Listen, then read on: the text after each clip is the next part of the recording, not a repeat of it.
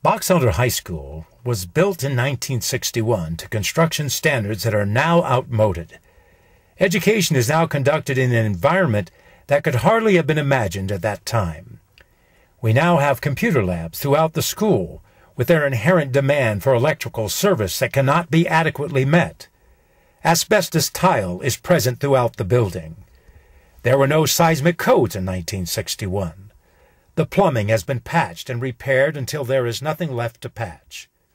The building has served well, but sadly, it is simply worn out from the pressing needs of a student body of more than 1,400 students who occupy the building from early morning until late at night. Ironically, many in the community refer to Box Elder High School as the new high school. However, there have been no significant infrastructure changes since its inception nearly 50 years ago. The classrooms are 15 to 20 percent smaller than current standards. There have been 17 revisions of building codes since the original construction. In its present state, the school has some serious structural and systemic problems that have raised some safety issues such as asbestos tiles throughout the building, failure to meet standards of Americans with Disabilities Act, inadequate security and non-existent seismic reinforcement, complicated by a two-story structure. Over the years, the school has gone through many transitions in code compliance, but the reality is that safety and construction standards have steadily raised at the same time the building is showing its age from increasingly demanding usage until it can no longer meet current standards. The learning environment is also compromised by inadequate science and computer labs that fail to meet state safety standards. The classrooms do not provide adequate space for the number of students. The cafeteria is not sufficient for the number of students who eat there regularly, which forces some students to eat off campus. The present ventilation system capacity is only 33% of present standards.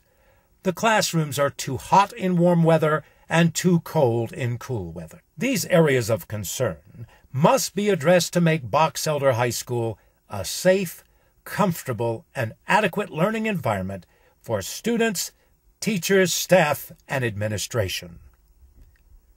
These problems can be corrected with money specifically allocated to Box Elder High School to address these issues.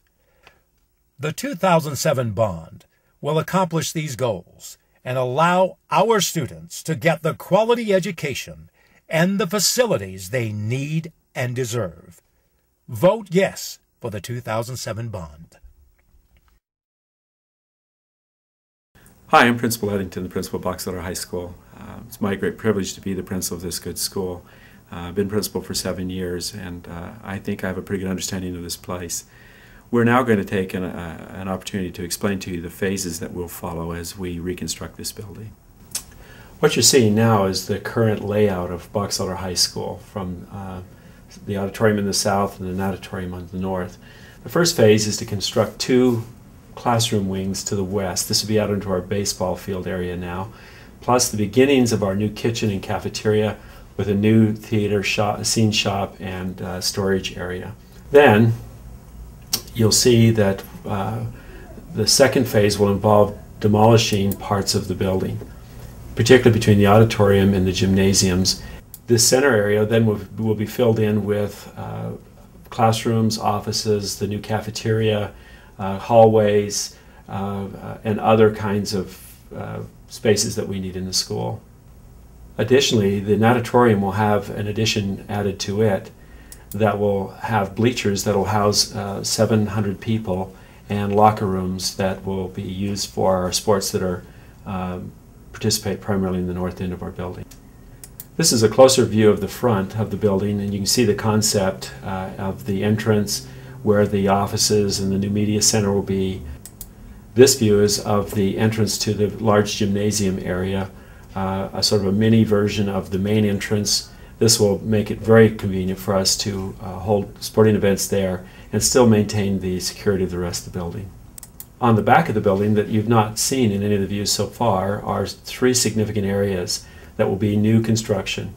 a new weight room and fitness center, a new wrestling room that will accommodate two wrestling mats, and a new dance studio.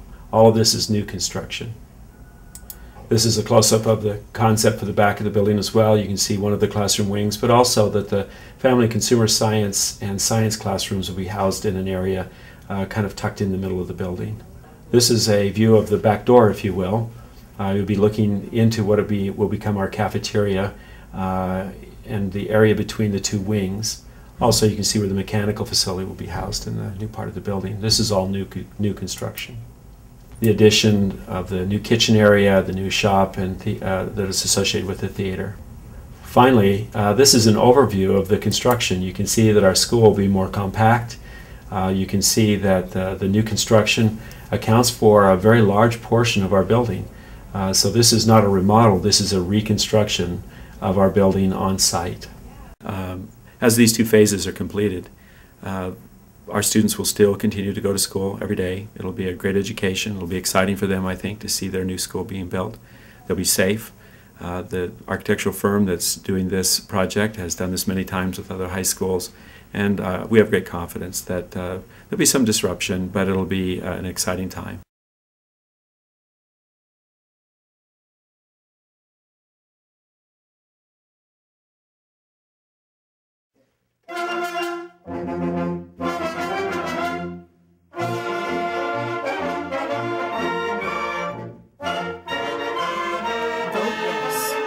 Vote yes. Vote yes.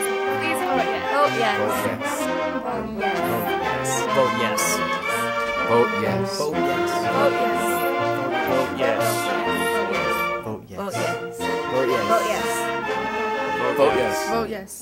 Vote yes. Vote yes. Vote yes. Vote yes. Vote yes. Vote yes.